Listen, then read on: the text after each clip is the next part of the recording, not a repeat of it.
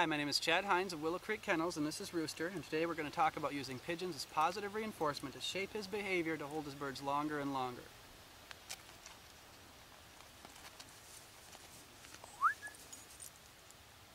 Boom, nice point right away.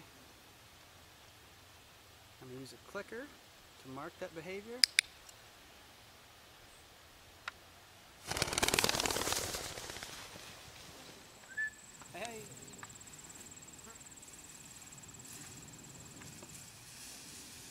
When I first start throwing these pigeons, we're going to use these pigeons as positive reinforcement. When I first start throwing these pigeons, you let him chase him. Let him chase him as far as he wants. I don't say anything to him. Wait for him to come back. Eventually he'll come back.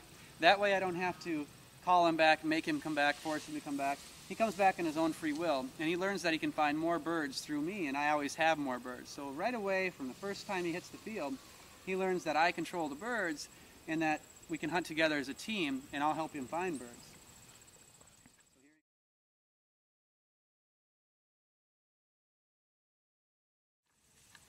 What I'm doing here is using these pigeons as positive reinforcement.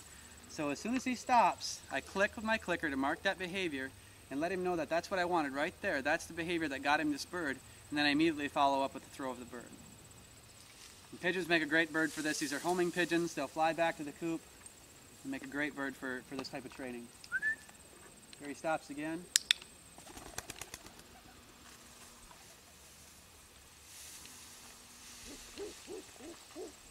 He's catching on to this really quickly. Um, most dogs will kind of tear around, chase these birds quite a ways. This is his first time on these.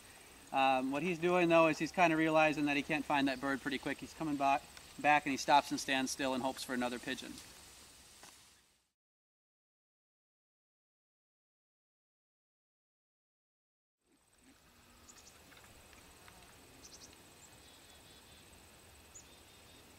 When you do this, you want to find an area that's big, open, away from roads. We do have a road over here, but it's a, it's a gravel road. It's on the other side of this thick cover. It's, it's a little ways away.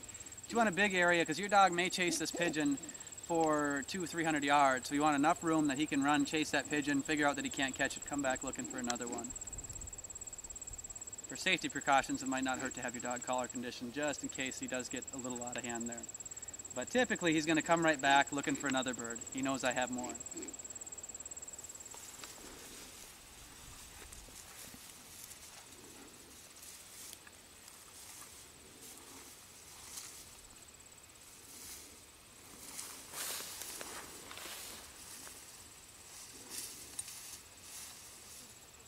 And he can't have it unless he stands still. He's going to try something else here to get a hold of this bird. But he can't have it unless he stands still. So if he jumps around a little bit, that's no big deal. I'll let him have it when he's ready, when he's standing nice. Good boy. Now I've used the whoa word, so I got to get rid of this bird fairly quickly. Make sure he doesn't move, because I want to. I want that word to mean stand still until I release him or until a bird flies right now.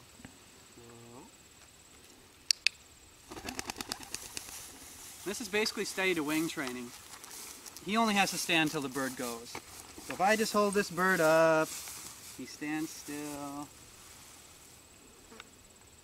As long as he stands till that bird goes, that's all I need. Most hunters will do it this, will, will train their dog to st steady to wing. Um, it's a lot easier, it's a lot less to worry about in the field. And all that dog has to do is stand till the bird goes and then all bets are off. They get to the bird a little bit quicker, a lot of people like that when the bird's shot when it goes down. Good. You see how he's coming back quicker now too?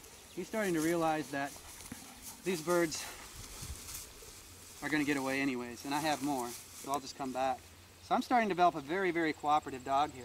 And if I start this way young, then I don't have to worry so much about him running off on me because he's so in tune to me. He's been developed He's been conditioned to learn that I have birds and to stay with me for birds.